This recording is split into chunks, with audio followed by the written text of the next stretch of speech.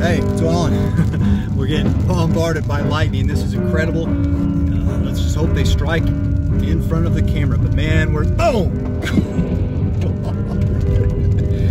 Crazy. Listen to this. It's all around me. It's behind me. It's in front of me. It's to the right of me. I can only get so much of it. It's got to strike in front of my camera, and I'm trying to drive. But what a lightning storm! Probably getting a little too excited, guys.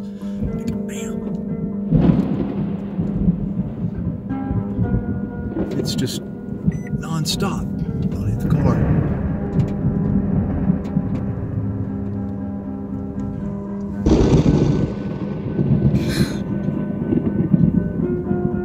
Behind me.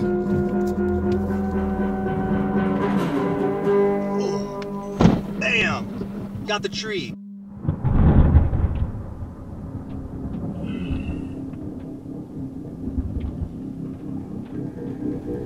Tree is on fire. Look at that. Wow. Got the tree again. Holy moly. Oh man, I'm next. I'm next.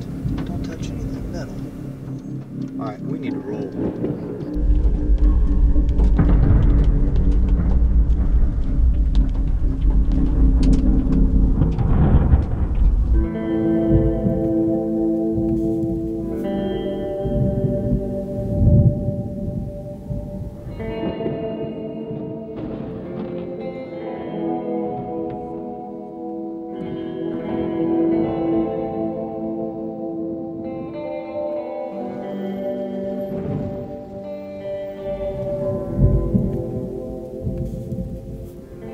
Usually about once a year I'll get a close strike of lightning and today I got a lot. I don't even know how much I've got. I'm looking at the footage now and uh, you've already seen, you already know more about the footage than I do at this moment.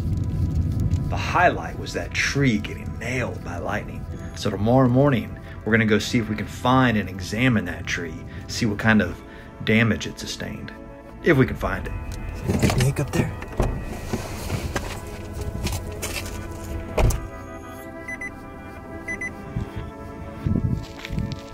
Went over there and he's gone. Right now we're backtracking and we're to try to find where lightning was striking that tree. Easier said than done out here. Looking back at the video, the second strike actually occurred behind the tree. It didn't hit the tree, it hit the ground.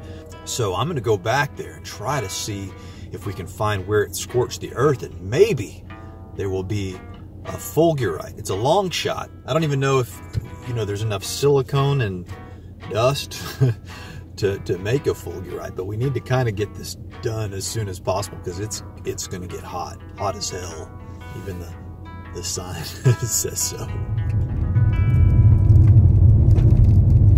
I think I photographed lightning right here. I think I remember that little farmstead. Yeah, so I think we're on the right track.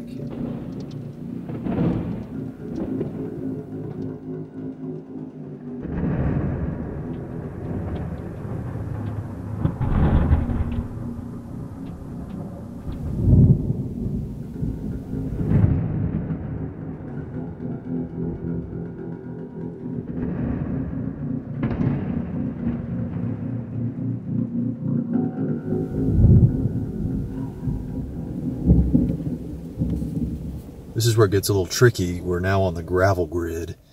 A lot of this looks the same. Normally on my GPS, I have the slug trail turned on. And of course, on this day, I didn't do that. Check out the little Roadrunner. There he goes. Hey, little Roadrunner. I see you, little guy.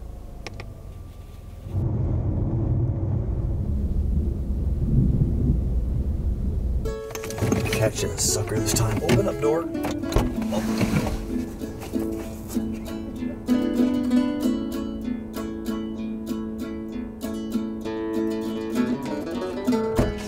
Coachwhips toy with me like squirrels toying with yard dogs. This road is going to turn into mud if we don't get off it. They're good when they're dry, but once they get wet, they turn into silly putty.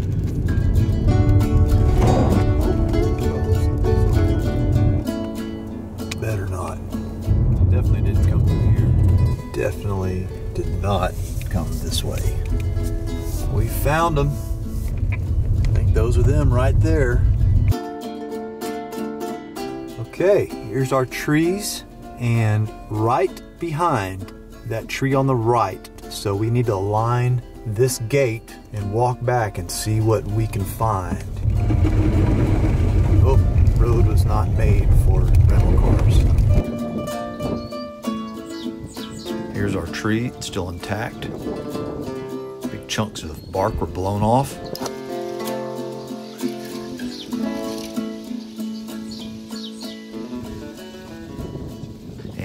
There's several cracks running the length of the main trunk.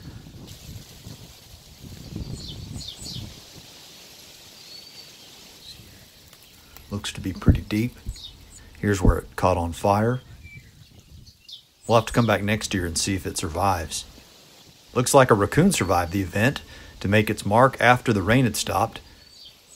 Perhaps he treated himself to some omelet here.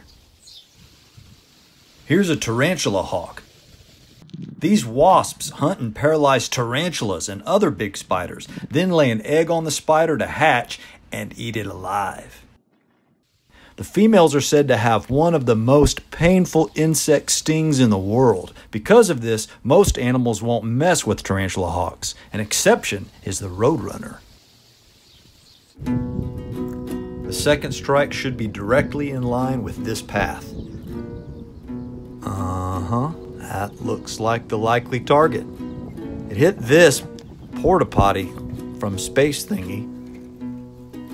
Maybe blew off this meter? Maybe not. This break looks to be kind of fresh. A continuous covering of conductive metal and mesh likely acted like a Faraday cage, conducting the lightning's current around the outside of the enclosed space and into the ground. That's why there doesn't appear to be much damage.